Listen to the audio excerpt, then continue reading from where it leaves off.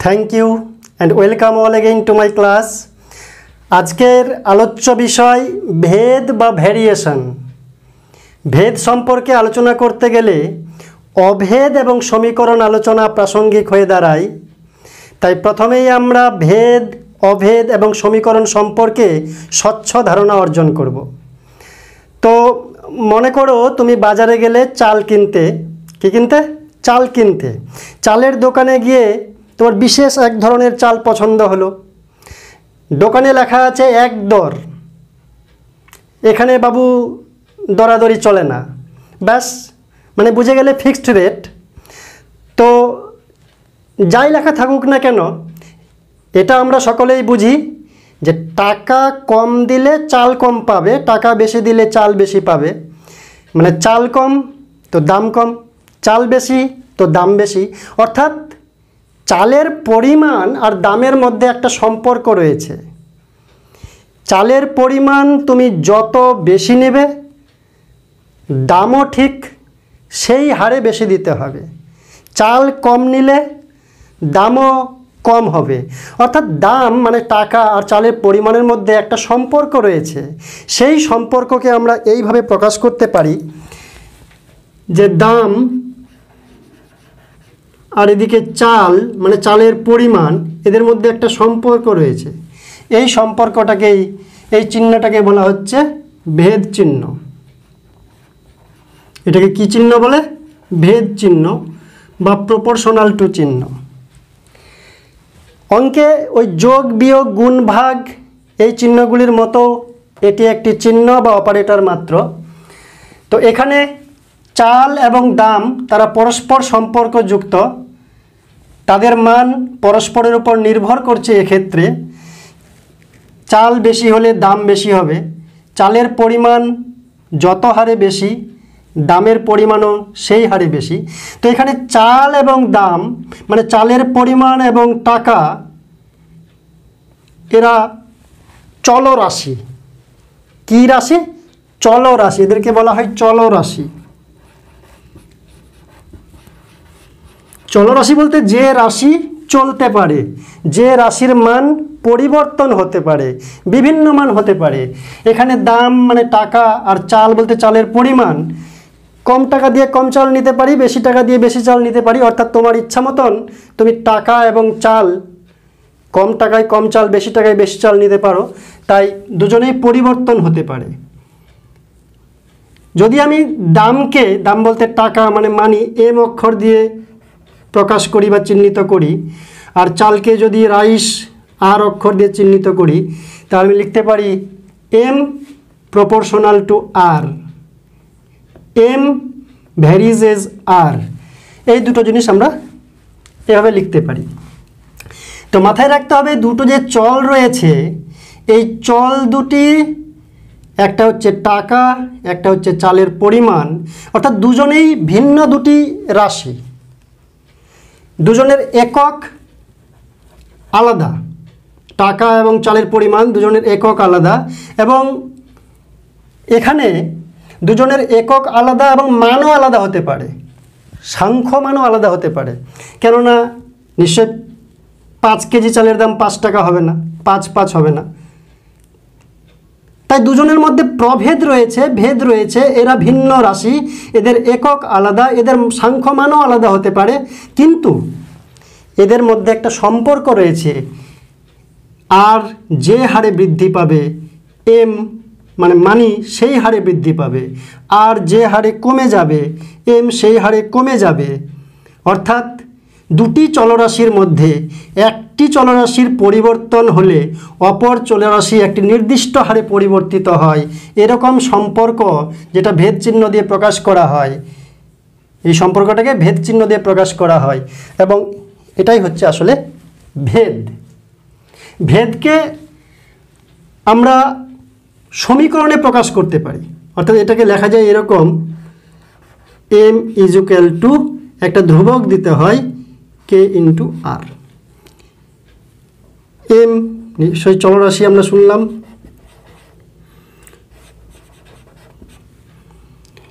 আর এটি আরেকটি চলরাশি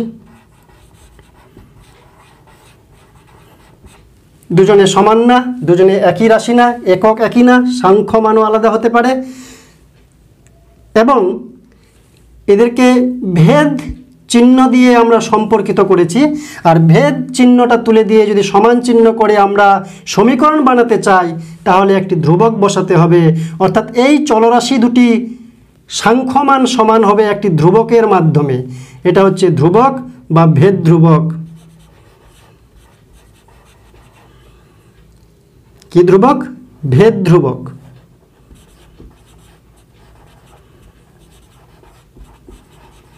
আর ধ্রুবক বলতে স্থির, এর মানটা স্থির। তো যে চালটা তুমি চালের দোকানে পছন্দ করেছ, সেই চালের দোকানে, সেই চালের ক্ষেত্রে এই, এটা একটা ধ্রুবক। এটা আর একটু বোঝানো যায় এইভাবে যে মনে করো তুমি দশ কেজি চাল নিয়েছো। দশ কেজি চাল নিয়েছো, চারশো টাকা দাম দিয়েছ। তাহলে এই সমীকরণে যদি বসাই এম মানে মানি টাকা। তাহলে এম হচ্ছে চারশো। আর মানে রুপিস আর মানে রাইস রাইস নিয়েছি আমি দশ কেজি। তাহলে দুজনে সমান হবে কী করে? তার মানে কে এই যে ধ্রুবকটা, সেটা হচ্ছে চল্লিশ। অর্থাৎ এখানে ভেদ ধ্রুবক বলতে চালের রেট বা চালের যে দামটা প্রতি কেজি, সেটা বোঝাচ্ছে। অর্থাৎ দশ কেজি চাল নিয়েছি চল্লিশ টাকা করে কেজি, চারশো টাকা দাম পড়েছে। এবার দশ কেজি চাল না নিয়ে দশ কেজির পরিবর্তে যদি কুড়ি কেজি নিতাম, তাহলে সমীকরণ থেকে কী পেতাম? এখান থেকে পেতাম কুড়ি কেজি নিলে কুড়ি চল্লিশে আটশো হয়ে যেত। এটা হতো আটশো, এটা হতো আরের মান হতো কুড়ি, আর চাল দশ কেজির পরিবর্তে পাল্টে গিয়ে কুড়ি কেজি হয়েছে। চলরাশি পরিবর্তন হয়েছে। টাকার পরিমাণ এটা বেড়ে গেছে তো এটাও বাড়বে সেই হারে। চারশোটা আটশো হয়েছে। কিন্তু একটা জিনিস এখানেও একই রকম রয়েছে, সেটা হচ্ছে এই যে কে চল্লিশ। এটাই হচ্ছে ভেদ ধ্রুবক যেটা হচ্ছে স্থির। এই ভেদ ধ্রুবকের মানটা স্থির। একটা নির্দিষ্ট শর্তে, একটা নির্দিষ্ট বিষয়ের উপর। চালের পরিবর্তে যদি ডাল কিনতে চাই, তখন নিশ্চয় চল্লিশটা এই কের মানটা ধ্রুবক থাকবে না। সেক্ষেত্রে আলাদা একটা কে আসবে, আলাদা একটা রেট আসবে। তাই বিশেষ বিষয়ের জন্য নির্দিষ্ট শর্তে, নির্দিষ্ট চলরাশির সম্পর্কে মানে ভেদের জন্য কে মানটা ধ্রুবক। কিন্তু প্রতি ক্ষেত্রে এই ধ্রুবকের মান সমান না। ওই বিষয়ের জন্য ওই চালটা কিনবো, ওই দোকানে কিনবো, চালের পরিমাণ যত বাড়াবো টাকার পরিমাণ তত বাড়বে। কী রেটে চল্লিশ টাকা পার রেটে তো দুটি চলরাশি, তাদের মধ্যে একটা সম্পর্ক রয়েছে যে সম্পর্কের মাধ্যমে একজনের মান পরিবর্তিত হলে অপরজনেরও মান একটা নির্দিষ্ট হারে পরিবর্তিত হয় এবং তাদেরকে সমীকরণে প্রকাশ করতে গেলে, এই ভেদ থেকে সমীকরণ আনতে গেলে একটা ধ্রুবক বসাতে হয়, যাকে বলা হয় ভেদ ধ্রুবক। এই চলরাশির মান দুটি পরিবর্তিত হলেও ভেদ ধ্রুবকের মান পরিবর্তন হয় না। ভেদ ধ্রুবক আসলে একটি সংখ্যা মাত্র। তাহলে যদি চালের পরিবর্তে ডাল কিনি, তাহলে কি হবে? চা, তাহলেও দেখা যাবে যে মনে করো টাকা মানে মানি এম আর ডাল যদি কিনি বা সুগার যদি কিনি, ডাল কিনি পালস তাহলে পি তাহলে এখানে একটা অন্য ভেদ্রূপক আসবে কেডেস ডালের রেট যদি আলাদা হয়, নিশ্চয়ই কেডেসটা আলাদা হবে K dash not equal to K ডালের ক্ষেত্রে। অর্থাৎ প্রতি ক্ষেত্রে কে প্রত্যেকটা ভেদ ধ্রুবক সমান না, একটা নির্দিষ্ট শর্তে, নির্দিষ্ট বিষয়ের জন্য, নির্দিষ্ট অঙ্কের জন্য কেটা ধ্রুবক। অঙ্ক পাল্টে গেল কে পাল্টে গেল, কিন্তু চলরাশিগুলো পরিবর্তিত হবে। চলরাশির মানের পরিবর্তন একটির মান পরিবর্তন করলে অপরটির মান নির্দিষ্ট হারে পরিবর্তিত হবে এবং এই চলরাশি দুটিকে একটি সম্পর্ক দিয়ে চিহ্নিত করা হয়, যাকে ভেদ চিহ্ন বলে। আর তাদেরকে সাংখ্য মানে সমান করতে গেলে একটি ধ্রুবকের মাধ্যমে তারা সমান হয়।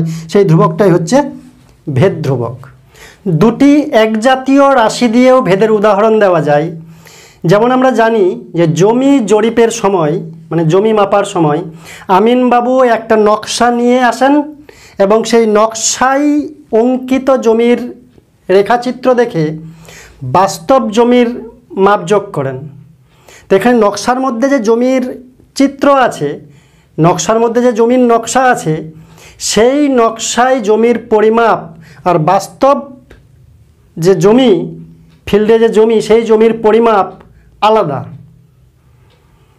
এখানকার জমিটা অনেক ছোট, নকশার জমিটা, বাস্তবের জমিটা অনেক বড়। কিন্তু এই জমির, নকশার জমির মাপের সঙ্গে বাস্তব জমির মাপের একটা সম্পর্ক রয়েছে। নকশার জমির সঙ্গে বাস্তব জমির মাপের একটা সম্পর্ক রয়েছে। নকশাতেও জমির যে সাইডটা সব থেকে লম্বা, বাস্তব জমিতেও সেই সাইডটা সব থেকে লম্বা।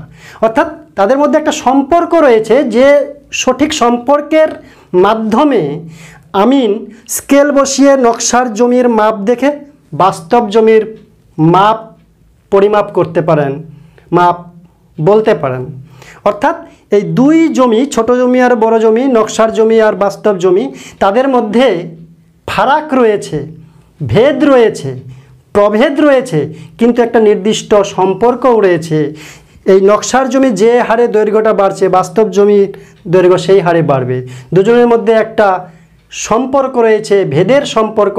একটা ধ্রুবকের মাধ্যমে এর মানকে গুণ করে বাস্তব জমির মান পাওয়া যায়। যে ধ্রুবক দিয়ে গুণ করব, সেটাই হচ্ছে ভেদ ধ্রুবক। বাস্তবে মান দুটি আলাদা, কিন্তু ধ্রুবক দিয়ে মান করলে তাদেরকে সমীকরণে বা সমান চিহ্নে প্রকাশ করা যায়। যাই হোক, আমরা জানলাম যে ভেদকে এরকম প্রকাশ করা হয়। M proportional to R M আর এগুলো না নিয়ে এক্স ওয়াই জেডও নেওয়া যায়, অসুবিধা নেই। তাহলে এটা হচ্ছে ভেদ। আর এটাকে আমরা যদি সমীকরণে প্রকাশ করি, তাহলে একটা ভেদ ধ্রুবক কে নিয়ে আসতে হয়। এটা হচ্ছে একটা সমীকরণ। মনে রাখতে হবে কে কে একটি ভেদ ধ্রুবক, এটা always not is equal to zero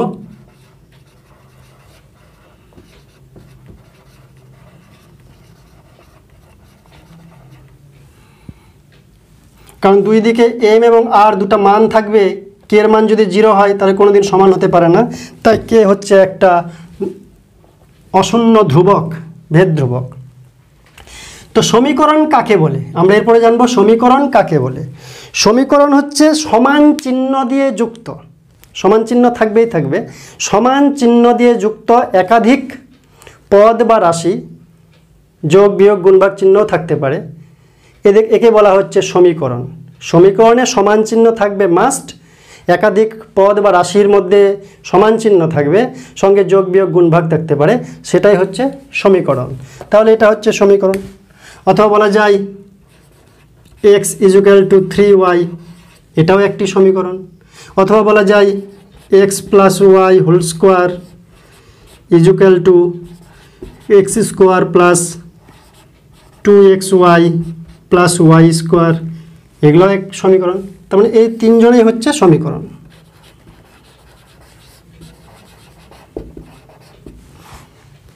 কিন্তু এই তিনটা সমীকরণের মধ্যে একটু পার্থক্য আছে, একটু বোঝার চেষ্টা করবে ভালো করে।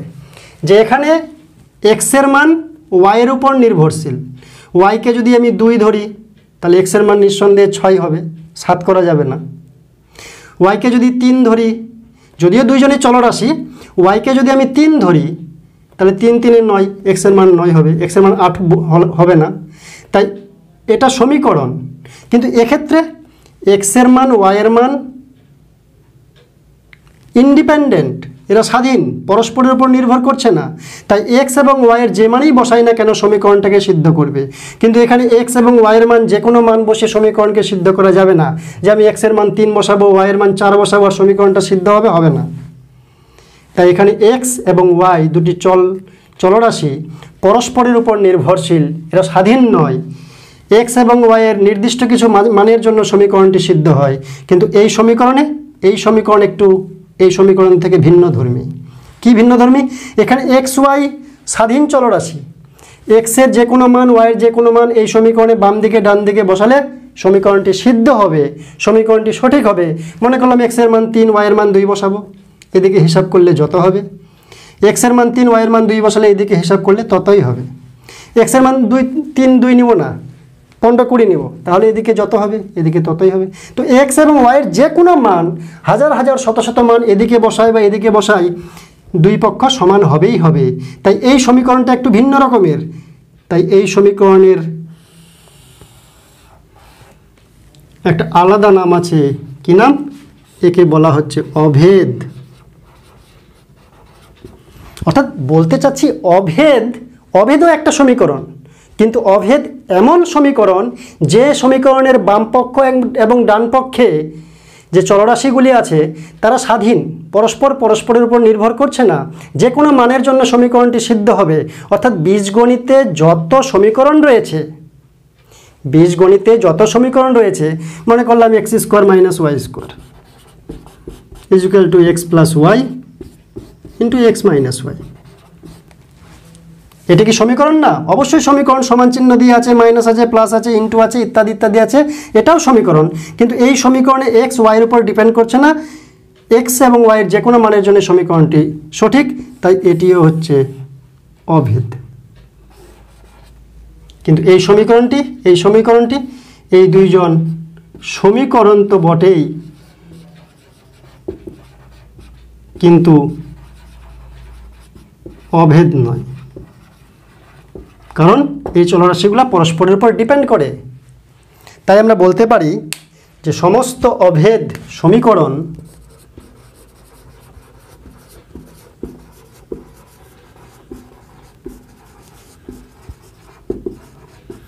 কিন্তু সমস্ত সমীকরণ অভেদ নয়। এই যে অভেদ নামটা এসেছে, এই সমীকরণ এই সমীকরণ দুটো হচ্ছে অভেদ, কারণ বামপক্ষ, ডানপক্ষের মধ্যে কোনো প্রভেদ নেই, কোনো বিভেদ নেই, এরা আলাদা না। বাম দিকে এক্স ওয়াইয়ের যে কোনো মান বসালে ডান দিকে এক্স ওয়াইয়ের সেই মানের জন্য সমীকরণটি সিদ্ধ হয়ে যাবে। ভেদ নেই, অবলতে নেই, ভেদ নেই, তাই অভেদ। আর আমরা যেটা আলোচনা করছি, যে মনে করলাম এম প্রপোর্শনাল টু আর এটা হচ্ছে ভেদ। কেন ভেদ? এই যে রাইস মানে চালের পরিমাণ আর মানি মানে টাকা বা দাম, চালের পরিমাণ আর দাম একক আলাদা, এদের মানও আলাদা হতে পারে, বিষয়টাও আলাদা, কিন্তু এদের মধ্যে একটা সম্পর্ক রয়েছে। কি সম্পর্ক রয়েছে? চালের পরিমাণ তুমি যে হারে বেশি নেবে, দামটাও সেই হারে বেশি হবে। চালের পরিমাণ যে হারে কম নেবে, টাকার পরিমাণও সেই হারে কম হবে। তাই দুজনের মধ্যে সম্পর্ক রয়েছে। কিন্তু দুজনে আলাদা। দুজনের মধ্যে ভেদ রয়েছে যে যেহেতু সম্পর্ক রয়েছে, সেই সম্পর্কটাকে আমরা ভেদ চিহ্ন দিয়ে প্রকাশ করছি। এবং এই ভেদকে যদি সমীকরণে প্রকাশ করতে হয়, তাহলে মনে রাখতে হবে যে সমান চিহ্ন আনলেই এই ভেদ চিহ্ন পাল্টে গিয়ে সমান চিহ্ন করলেই একটা ধ্রুবক বসাতে হয়, যে ধ্রুবকের মাধ্যমে এরা সংখ্যাগতভাবে পরস্পর সমান হবে। এবার সেই ধ্রুবক যদি এক হয় তাহলে ব্যতিক্রমীভাবে এম ইজুকাল টু আর হতেই পারে। সাধারণভাবে সাংখ্যমান এক হতেও পারে, নাও হতে পারে। ভেদ ধ্রুবক যদি ওয়ান হয়ে যায়, তাহলে পরস্পর সমান হয়ে যাবে। পাঁচ টাকায় পাঁচ টাকায় পাঁচটি পেয়ারা পাওয়া যেতেই পারে। আবার কম বেশিও হতে পারে। তাহলে ভেদ কি? যদি বলে আমরা কি বুঝব? ভেদ হচ্ছে দুটি চলরাশি এমন সম্পর্কে সম্পর্কিত এককযুক্ত হতে পারে পরস্পর। ভিন্ন এককের হতে পারে। আলাদা একক হবে, কখনো মানেও আলাদা হয় তারা পরস্পর। তো একজন আরেকজনের সঙ্গে এমন সম্পর্কে সম্পর্কিত যে একটির মান পরিবর্তিত হলে অপরটির মান একই হারে পরিবর্তিত হয়। পরিবর্তিত বলছি কেন? কারণ কখনো কখনো এমনও হয় যে একটির মান বাড়লে অপরটির মান কমেও যায়। ইনভার্সলি প্রপোর্শনাল হয়, যাকে বলে ব্যস্ত ভেদ।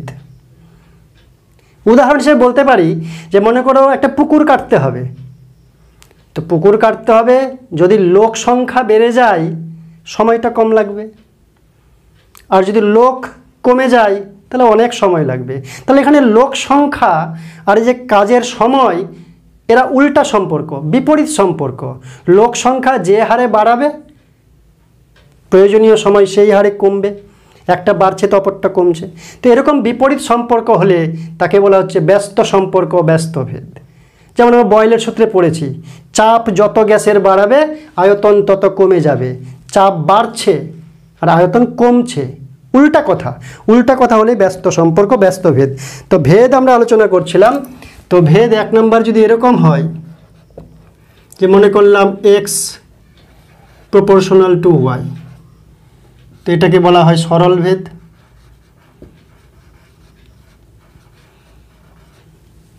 এখান থেকে আমরা আনতে পারি X equal to K Y K একটি ভেদ ভেদ ধ্রুবক K not equal to zero একটি ভেদ ধ্রুবক। এখান থেকে আনা যায় X divided by equal to K মানে ধ্রুবক। তো দুটি চলরাশির ভাগফল যদি সর্বদাই ধ্রুবক হয়, তাহলে বলতে পারি এই চলরাশি দুটি সরল ভেদে আছে। আবার এরকমও হয় যে মনে করলাম আয়তন, গ্যাসের আয়তন বলতে ভি চাপের সঙ্গে ব্যস্তানুপাতে, ব্যস্ত ভেদে আছে। ব্যস্ত ভেদে থাকলে ওয়ান বাই করে দিতে হয় ওয়ান বাই পি পি বলতে প্রেশার মানে চাপ। ভি বলতে ভলিউম মানে আয়তন। গ্যাসের আয়তন চাপ বাড়ালে আয়তন কমে। চাপ কমালে আয়তন বাড়ে। উল্টা সম্পর্ক, তাই এটাকে উল্টাই দিয়েছি। V proportional to one by P এটাকে বলা হয় ব্যস্ত ভেদ।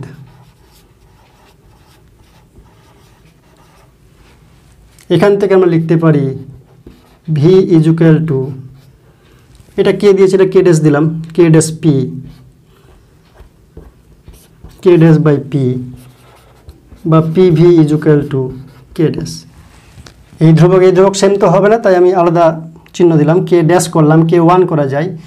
একই রকম লিখতে পারি K dash not equal to zero একটি ভেদ ধ্রুবক।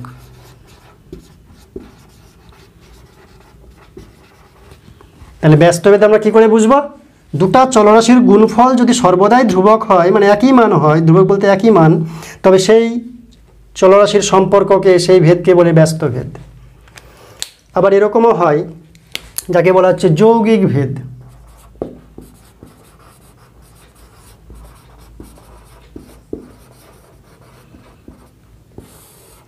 যৌগিক ভেদ কি? যৌগিক ভেদ হলো যে X comma Y comma Z এমন তিনটি চল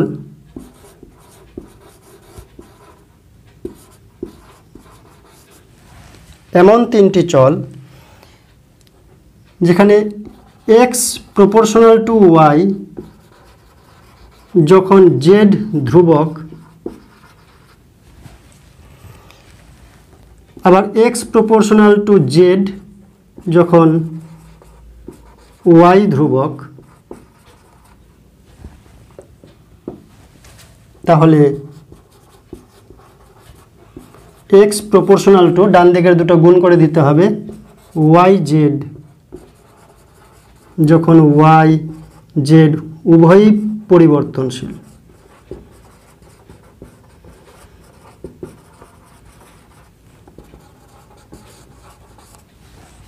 তো তিনটা কেন আরও বেশি হতে পারে?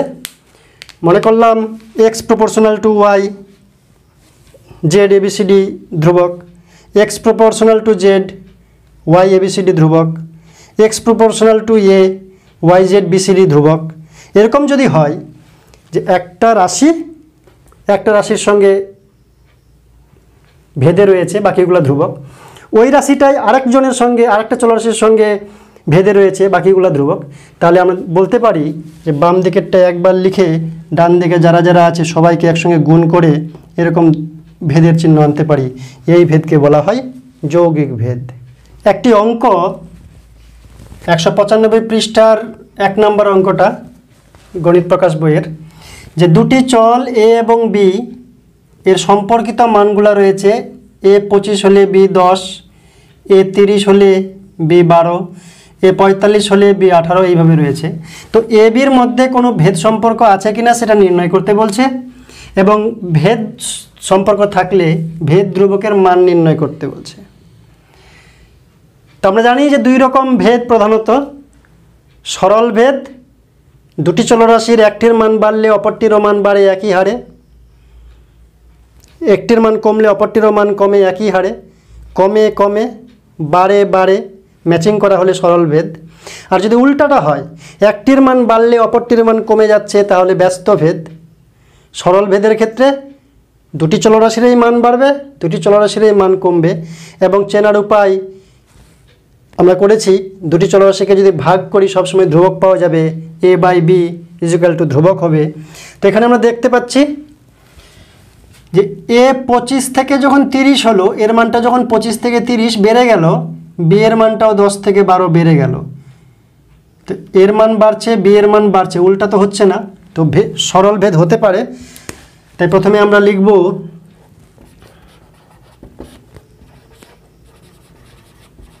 এখানে এর মান বাড়লে বির মান বাড়ে বা উল্টা করে বলা যায় যে এর মান কমলে বি এর মান কমে ম্যাচিং করে। তো এটুকুন দেখলেই হবে না, ওদের রেশিওটা ধ্রুবক হচ্ছে কিনা চেক করব। তো প্রথমে এ বাই বি প্রথম মানটিকে যদি আমরা নিই পঁচিশ বাই দশ। পঁচিশ বাই দশ, পাঁচ পাচ্ছে পঁচিশ, পাঁচ দুয়ে দশ, পাঁচ বাই দুই হলো। আবার যদি এ বাই বি নিই আমরা দ্বিতীয় মানটি, তিরিশ বাই বারো। তিরিশ বাই বারো, ছয় দিয়ে কাটাকাটি করলে এখানে ছয় দুয়ে বারো, ছয় পাচ্ছে তিরিশ five by two A by B তিন নম্বর মানটি নিলে পঁয়তাল্লিশ বাই আঠারো নয় পাঁচে পঁয়তাল্লিশ, নয় দুই আঠারো, পাঁচে বাই দুই। লাস্ট মান দুশো পঞ্চাশ বাই একশো, পাঁচ পাঁচে পঁচিশ, পাঁচ দুয়ে দশ ফাইভ বাই টু অতএব আমরা দেখতে পাচ্ছি প্রতি ক্ষেত্রেই এখানে এ বাই বি সমান পাঁচ বাই দুই মানে একটা ধ্রুবক প্রতি ক্ষেত্রেই। নট ইজুয়াল টু জিরো তো অতএব লেখা যায় এখানে,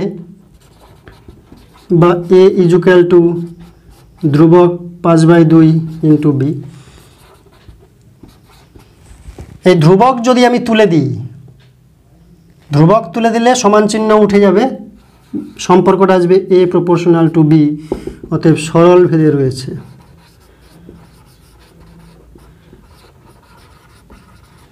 এবং ভেদ ধ্রুবকের মান বার করতে বলেছিল, তাহলে ভেদ ধ্রুবকের মান কত?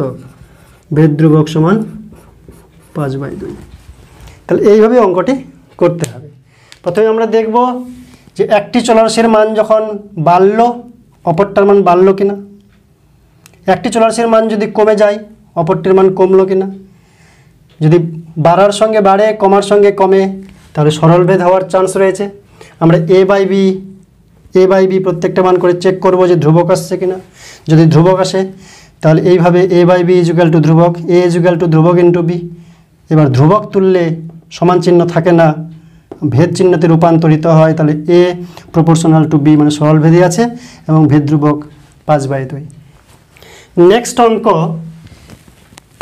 একশো পঁচানব্বই পেজের দুই নম্বরটা, যে এক্স ও ওয়াই দুটি চল এবং তাদের সম্পর্কিত মানগুলি এক্স আঠারো হলে ওয়াই তিন এক্স আট হলে ওয়াই সাতাশ বাই চার এক্স বারো হলে Y nine by two X six হলে ওয়াই নাইন এরকম মানগুলো দেওয়া আছে।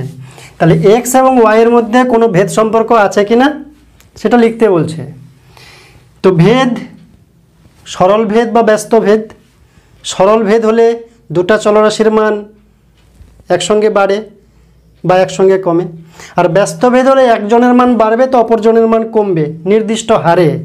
তো আমরা দেখব, ভগ্নাংশটা পরে চেক করি, এটা চেক করি, যে এক্সের মান আঠারো থেকে কমে ছয় হয়ে গেল এক্সের মানটা যখন আঠারো থেকে ছয় হয়ে গেল, কমে গেল ওয়াইয়ের মান তিন থেকে নয় হয়ে গেল, বেড়ে গেল। তাহলে এক্স আঠারো ছিল ওয়াই তিন ছিল। এক্স আঠারো থেকে পাল্টে যখন ছয় হলো ওয়াইয়ের মান তিন থেকে বেড়ে নয় হলো। এক্সের মানটা কমলো, তো ওয়াইয়ের মানটা বাড়লো। বিপরীত, তার মানে ব্যস্তভেদ থাকার সম্ভাবনা রয়েছে। তো আমরা প্রথমে লিখব এটা, যে এক্সের মান বাড়লে ওয়াই এর মান কমে। বা বলা যায় এক্সের মান কমলে ওয়াই এর মান বাড়ে। আবার চেক করব আমরা এরকম। ব্যস্তভেদ হলে কী হবে? দুটি চলরাশির গুণফল সর্বদাই ধ্রুবক হবে। তাহলে প্রথমে এক্স ওয়াই বার করব। আঠারো আর তিন। কত হচ্ছে? Fifty four X Y next মান গুণ করব। আট গুণন সাতাশ বাই চার। চার দুয়ে আট সাতাশ দুয়ে চুয়ান্ন। এক্স ওয়াইয়ের থার্ড হিসাব করব বারো আছে নয় বাই দুই আছে, দুই ছয়ে বারো, ছয় নয় চুয়ান্ন। তিন নাম্বার ছয় নয় ডাইরেক্ট আছে। তাহলে প্রতি ক্ষেত্রে এক্স ওয়াইয়ের গুণফল একটা ধ্রুবক আসছে। অতএব বলা যায় যে এক্স এবং ওয়াই ইজুক্যাল টু চুয়ান্ন মানে একটি ধ্রুবক। নট ইজুক্যাল টু জিরো বা এক্স ইজুক্যাল টু চুয়ান্ন ওয়ান বাই ওয়াই বা এক্স ধ্রুবকটা যদি আমি তুলে দিই, তাহলে সমান চিহ্নও তুলে যাবে এবং বিনিময়ে আসবে ভেদ চিহ্ন। এটা হবে। অতএব ব্যস্ত ভেদে আছে।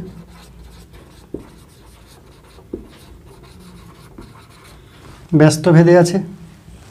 এবং ভেদ ধ্রুবক হচ্ছে চুয়ান্ন। আরেকটি অঙ্ক, একশো ছিয়ানব্বই পেজের তিনের এক নাম্বারটি। বিপিন কাকুর ট্যাক্সি পঁচিশ মিনিটে চোদ্দ কিমি পথ অতিক্রম করে।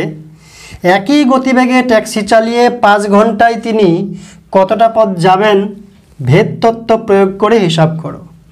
অর্থাৎ এই অঙ্কটি অন্যভাবেও করা যায়, ঐকিক নিয়মে করা যায়। এখানে ভেদ তত্ত্বের মাধ্যমে অঙ্কটি করতে বলেছেন। তো বিপিন কাকুর ট্যাক্সি পঁচিশ মিনিটে চোদ্দ কিমি পথ যায়। ওই স্পিডেই যাবে, তাহলে পাঁচ ঘন্টায় কতটা পথ যাবে? অর্থাৎ সময় আর পথ কতটা রাস্তা যাচ্ছেন, এটার একটা অঙ্ক। আমরা কীভাবে করব? দেখো, অতি সহজ।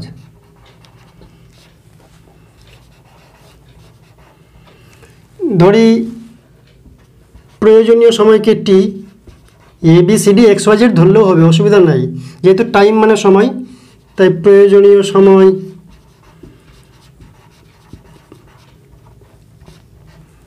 টি ধরলাম। ধরি প্রয়োজনীয় সময় টি আর দূরত্ব বা পথ। দূরত্ব বা পথ এস ধরলাম। যে কিছু ধরলেই হবে। এবার গতিবেগ যদি স্থির থাকে,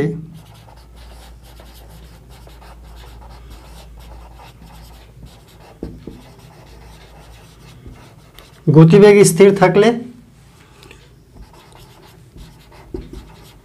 দূরত্ব বাড়লে কি হবে? সময়টাও বেশি হবে। যত দূরত্ব বেশি যাব, সময়ও বেশি লাগবে যদি স্পিড একই থাকে। দূরত্ব বাড়লে সময় বা প্রয়োজনীয় সময় বাড়ে। অতএব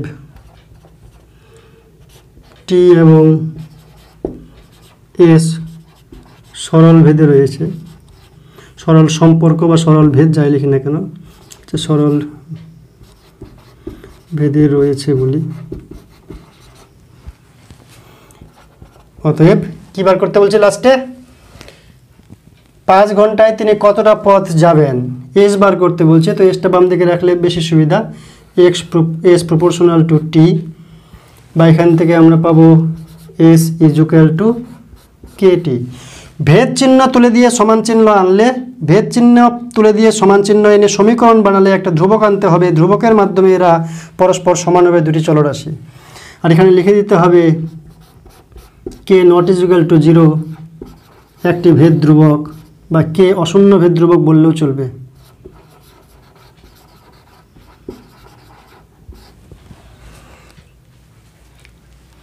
এটাকে আমরা এক নম্বর সমীকরণও দিতে পারি। এক নম্বর সমীকরণও আমরা দিতে পারি।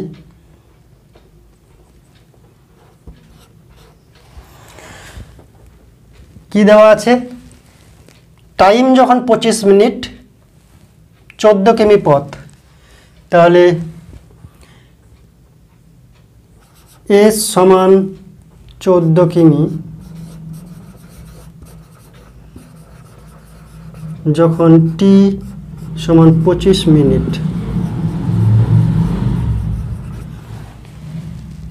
ভেদের অঙ্কে মনে রাখতে হবে যে প্রথমে অজানা ধ্রুবকটা ভেদ ধ্রুবকের মান বার করার জন্য দুটি চলরাশির মান একবার দেওয়া থাকবেই থাকবে। তাই এস এবং টি এর মান একবার দুটোরই মান দেওয়া থাকবে।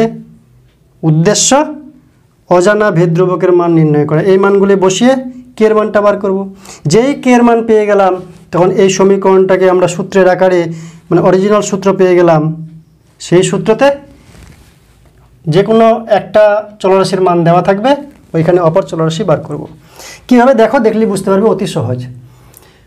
তাহলে আমরা লিখব এখানে, অতএব এক নম্বর সমীকরণে পাচ্ছি, এস হচ্ছে চোদ্দ, টির মান হচ্ছে পঁচিশ, বা কে ইজ ইকুয়াল টু চোদ্দ বাই পঁচিশ। কে যদি চোদ্দ বাই পঁচিশ হয়, তাহলে এক নং সমীকরণে বসিয়ে পাই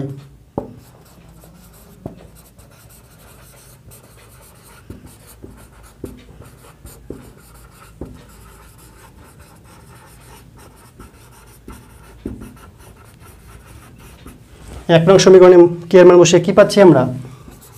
এস ইজুক্যাল টু চোদ্দ বাই পঁচিশ ইন্টু টি এবার এই সমীকরণে পাঁচ ঘণ্টা দেওয়া আছে। তাহলে টি এর মান পাঁচ ঘণ্টা মানে তিনশো মিনিট। মিনিটে যেহেতু করছি প্রথমে, তো টি এর মান তিনশো মিনিট বসাবো, তাহলে এসের মান পাবো। অতএব টি সমান পাঁচ ঘণ্টা মানে পাঁচ ইন্টু ষাট এত মিনিট।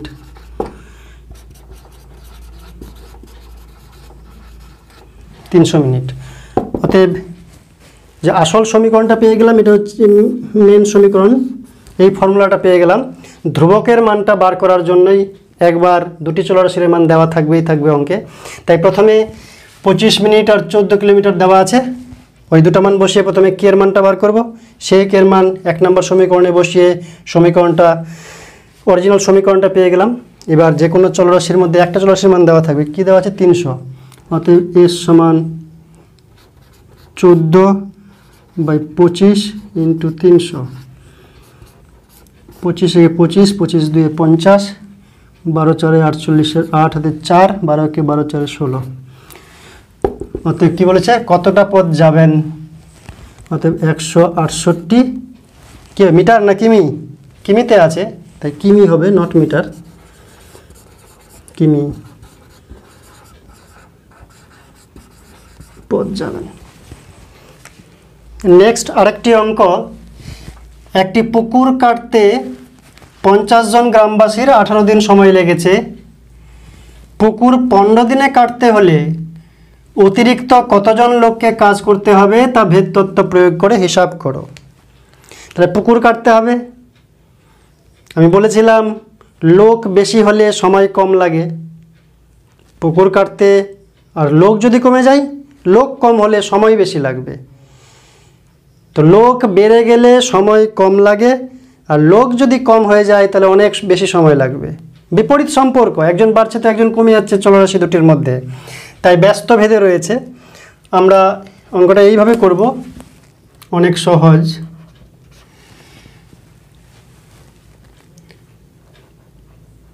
কি আছে? লোক সংখ্যা আর দিন। লোক বলতে ম্যান ম্যান পাওয়ার এম দিন বলতে ডে ডে মানে দিন। তাই ডি দিয়ে প্রকাশ করব আর একটাকে এম দিয়ে প্রকাশ করব। A B C D X Y Z দিয়ে প্রকাশ করলেও হবে। ওইরকম ওটার ইংরেজি আনতে হবে। ইংরেজি এনে সেই অক্ষরটা দিতে হবে, তার বাধ্যবাধকতা নেই। আমি যদি গ্রামবাসীকে এক্স দিয়ে, দিনকে ওয়াই দিয়ে প্রকাশ করি বা একটাকে এ দিয়ে, একটাকে বি দিয়ে প্রকাশ করি, যে কোনো লেটার দিয়ে প্রকাশ করলেই হলো শব্দটা লেখার পরিবর্তে গ্রামবাসী প্রপোর্শনাল টু আঠারো দিন ওয়ান বাই দিন, এরকম বড় বড় বাংলা ওয়ার্ড না লিখে তাকে আমরা চিহ্নে চিহ্নিত করব।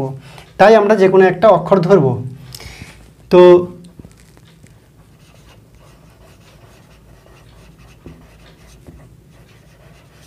লোক সংখ্যাকে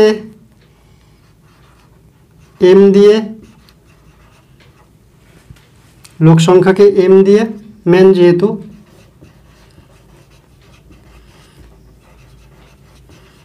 দিন সংখ্যাকে ডে যেহেতু,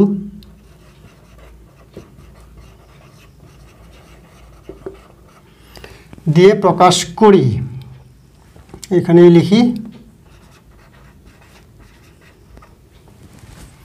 তাহলে লোক সংখ্যাকে এম দিয়ে আর দিন সংখ্যাকে ডি দিয়ে প্রকাশ করি।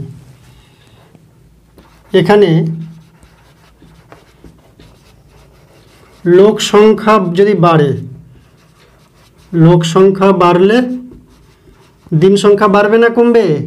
কমবে। আমরা ট্যালি করব এরকম যে একটা পুকুর আছে, লোক যদি বেশি যায় তাড়াতাড়ি কাজ হয়ে যাবে, সময় কম লাগবে। লোক বেড়ে গেলে সময় কম লাগবে, লোক কমে গেলে সময় বেশি লাগবে, উল্টা সম্পর্ক।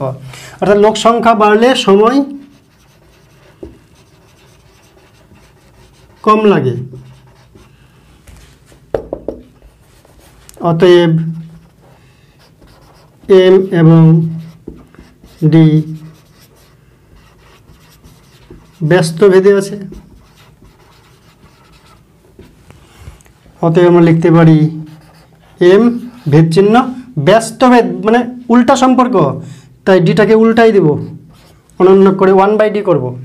আর যদি সরল ভেদে থাকতো, তাহলে এম প্রপোর্শনাল টু ডি হতো। কিন্তু এখানে যেহেতু ব্যস্ত ভেদে আছে, তাই M proportional to one by D এটাকে যদি আমি সমীকরণ বানাই, তাহলে এম ইজুক্যাল টু একটা ধ্রুবক দিব K R one by D এটাকে এক নম্বর সমীকরণ।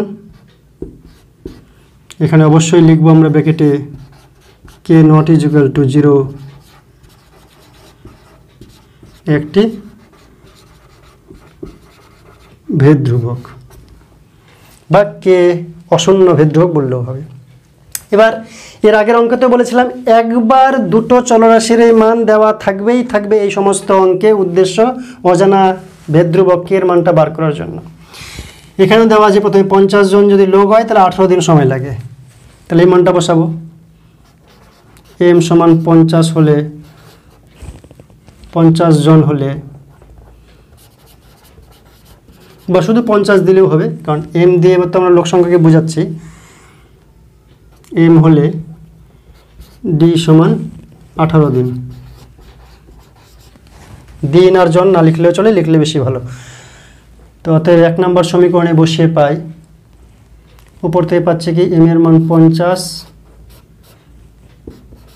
ডি এর মান ওয়ান বাই আঠারো বজ্রগ্রহণ করলে কে ইজুক্যাল টু পঞ্চাশ ইন্টু আঠারো। গুণ করার দরকার নেই। এই মানটাকে আমরা এক নম্বর সমীকরণে বসাবো। কে এর মান এক নং সমীকরণে বসিয়ে পাই।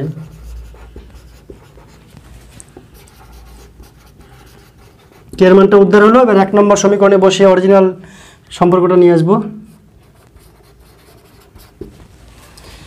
তাহলে কি হবে? এম ইজুক্যাল টু ও কের মান পেয়ে গেছি আমরা। পঞ্চাশ ইন্টু আঠারো, দুইটাকে নিচে লিখলেই হয়, এটা। এবার এই সমীকরণে যেটা উত্তর চেয়েছে আমাদের, যে পনেরো দিনে কাটতে হবে।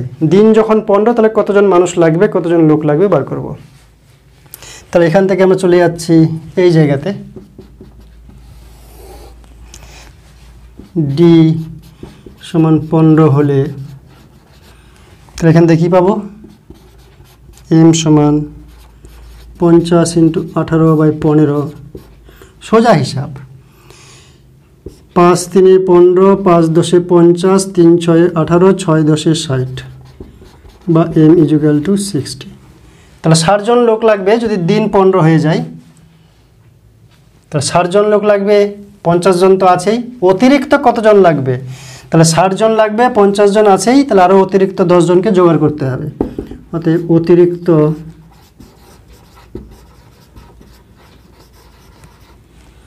লোক লাগবে সমান সিক্সটি মাইনাস ফিফটি, এতজন সমান দশজন।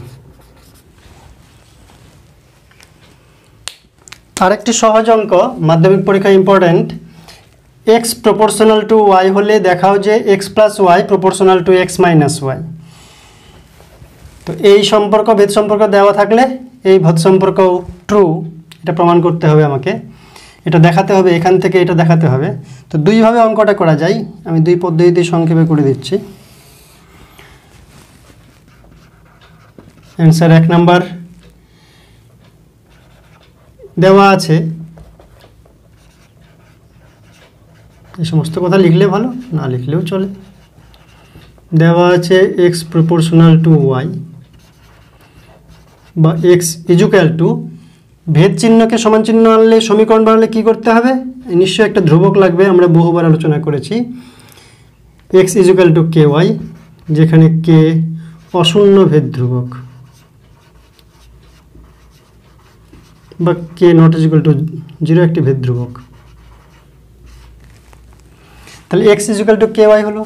এখান থেকে আমরা বলতে পারি X by Y equal to K বা আমরা লিখতে পারি যোগ ভাগ প্রক্রিয়া করে X plus Y by X minus Y equal to K plus one by K minus one কীভাবে করলাম?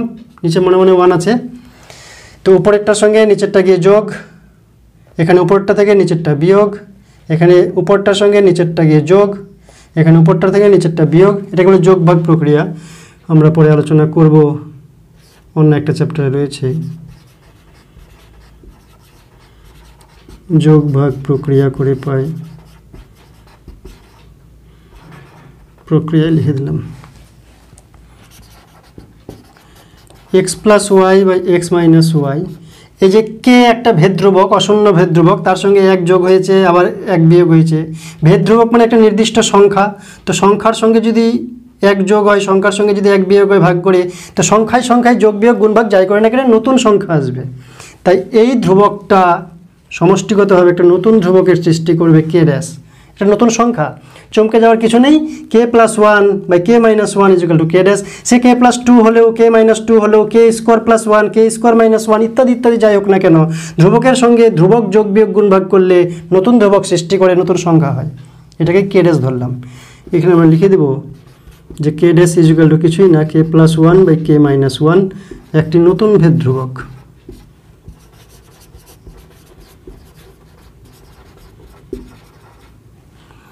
নতুন ধ্রুবক ধ্রুবক বা ধ্রুবক যাই লিখি না কেন? বা X plus Y equal to K dash X minus Y বা এখানে সমান চিহ্ন দেওয়া যায় বা ডট দিলেও চলে। আচ্ছা ব্র্যাকেট দিলেও চলে। ব্র্যাকেটে দিই। এক্স প্লাস ওয়াই সমান চিহ্ন তুলে দেবো, তাহলে ধ্রুবক উঠে যাবে, তার বিনিময়ে আসবে এক্স মাইনাস ওয়াই প্রমাণিত। দ্বিতীয় নিয়ম, এই নিয়মে বেশিরভাগ অঙ্কগুলো হয়, যেটা আমাকে প্রমাণ করতে হবে বাম পক্ষকে উপরে তার আগে ওটা বার করে নিই। এক্স প্রপোর্শনাল টু ওয়াই বা X equal to K Y সমীকরণ বানাবো ভেদ থেকে। K not equal to zero একটি ভেদ ধ্রুবক। এবার এক্স প্লাস ওয়াই বাম পক্ষ উপরে, ডান পক্ষ নিচে X minus Y equal to এক্সের মান হচ্ছে K Y K Y plus Y এক্সের মান বসাচ্ছি। K Y minus Y Y common নিলাম।